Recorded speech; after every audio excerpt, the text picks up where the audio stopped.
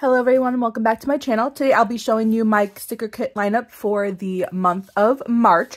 And as always, I store my items in this, or my kits, in this Avery binder. I have one for each season and each month is divided by this um, page protector with some EC stuff in it and then some Planner Kate coordinating stickers as well. And then let's get into this first kit.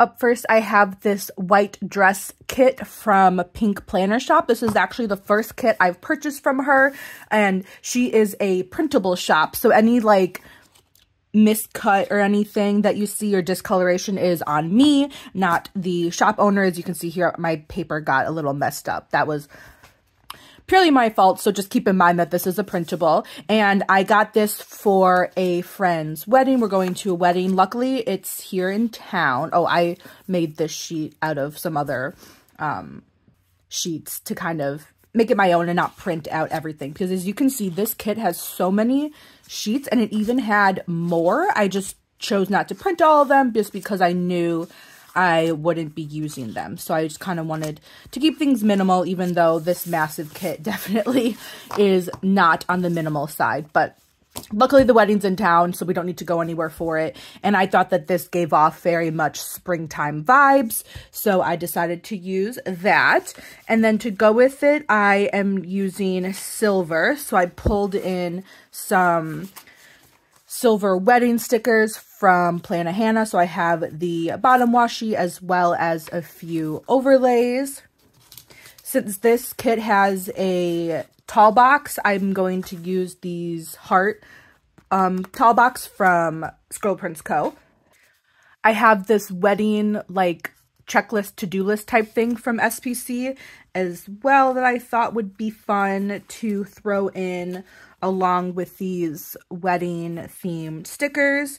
And then because this isn't enough overlays, I'm going to pull in some of these. And I think like the florals and the leaves kind of work well.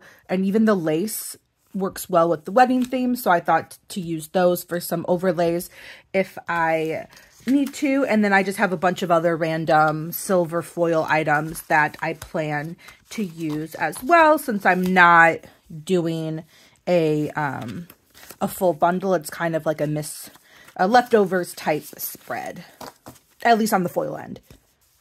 Up next, I am using this Herbology 101 kit, well, Franken kit, because I got these full boxes in a grab bag, and so I am making my own, here, I'll show you, my own kit with this, because I didn't want those full boxes to go to waste. So I have these two, um, what are these called, add-ons, extra label label version 2? Label sampler version 2? Anyway, from Scribble Prints Co. And I thought these, especially this like dark purple, worked like perfectly with the kit. I'm planning to pull in the pinks on a lot of these samplers. And then possibly this light green as well. I don't know, but definitely the pink. And then I have these sticker sheets, which is left over from another kit I made. I think this was another... I can't remember. I just designed this kit myself. I'm pretty sure it was a forest kit. If I can, I'll link the plan with me up above. I'm pretty sure it's up already. Yeah, it definitely is because it was in July. So this is leftovers, and I thought all of these colors worked really well because it's like green plants. So I'm going to try to finish these up. And then for bottom washi, I found this pink. So I'm going to use that.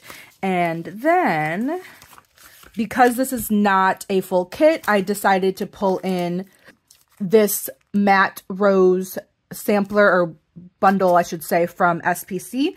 I have one more bottom washi, which would be perfect to supplement with this bottom washi. I have one set of, or I think a set. Hopefully I have a set. Otherwise, yeah, okay.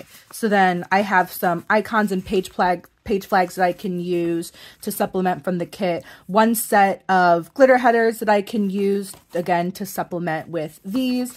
And then some um, date headers because, again, not a full kit. So I can use up the rest of this kit or this wiggle, I guess is the best way to phrase it and use up what I have. So I thought that would be perfect.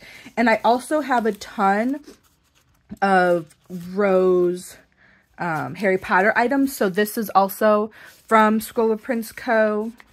I have no idea if there's a holiday this week. I'll find out. But because this is Rose, I'm going to kind of carry it over to every single week I do Rose and try to use that up if it happens to fall on a holiday. And then I also have a bunch of Harry Potter items in Rose Gold from Plannahannah. Now, her Rose Gold is different than Scribble Prints Co.'s Rose, but they're close enough. And honestly, I think both tones work really well with the full boxes. And if I have it, I'm going to use it. So I have some underlays, or sorry, washi overlays, some underlays, some quote overlays, as well as some full box overlays. And then if I don't end up using eight of these, I have some corners that I can use to supplement for full boxes as well. And then for the week of St. Patrick's Day, I decided to not go with a full-on St. Patrick's Day theme because one, I don't really celebrate it too. I'm not Irish. And three, because I wanted to use up the kits that I had and I didn't have any like specific St. Patrick's Day stuff. So I would have to have bought something and I'm trying to avoid that. So, or at least minimize that this year. So I decided to go with this plant themed Scribble Prints Co. mystery kit. And I, it has like the greens and like kind of gold ish. So I thought this would be perfect to use as like a non St. Patrick's Day kit. I will be adding some St. Patrick like foil to the spread to make it a little bit more festive, but um, that hasn't come in yet. So I will use that once it comes in. And then so far what I have is this Plant Mom uh, overlay in silver from Plannahannah that I'm using as well. And then I'm also going to use the succulent underlays. I believe it's called You Suck. Um, or maybe, no, I think that's one of the full boxes. I think, oh wait, no, LOL, that's where I'm thinking of. Um, I think the underlay is just called Succulent or something that I'm going to get in silver to use with this kit as well. And then the silver, like, um, St. Patrick's Day overlays from Scribble Prints Co. is the only thing I'm going to bring in. And then obviously just some random silver items to complete the spread, even though I don't think I really need much more. This does have some icons, but I'll just use my normal character stickers and whatnot to um, use for that.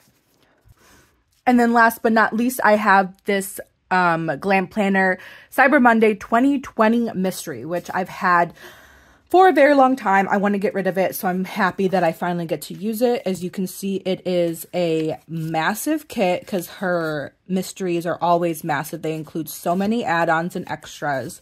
So, um, actually, this spread I'm actually going to plan to use twice, or this kit I'm going to use twice. So the first time I make this spread, I'm not going to even use half the kits, or half the kits, half the stickers. So I'm going to save the other half for a future spread in a future year. So so I'm glad I'm finally able to use this. And then I'm also going to incorporate the foil that it came with. It came in silver, which is like the third time I'm using silver this month. I did not think that through, but it's fine. So it came with these eight overlays, which for her, I think are pretty simple. I actually do really like them. So I'm excited to use these. This is more what her overlays look like, which I also will use those some deco and then this washi overlay. And then again, if I need to supplement any icons or anything or scripts, I'll pull in some of my silver items from my sticker collection. And that is everything for my lineup. Just to review, I am using this um, Pink Planner Shop white dress sticker kit for a wedding with silver foil, Herbology 101 from Scribble Prints Co., which is a Franken kit with some other items from different shops with rose and rose gold. Uh, November 21 Mystery from Scribble Prints Co. with silver foil. And then finally, Cyber Monday Mystery from 2020 from Glam Planner with silver foil as well. So that is everything for my lineup. If you guys are twinning on anything, please let me know down in the comments below. Don't forget to hit that like and subscribe button, and I'll see you next time. Thank you so much for watching. I hope you have a good day. Bye-bye.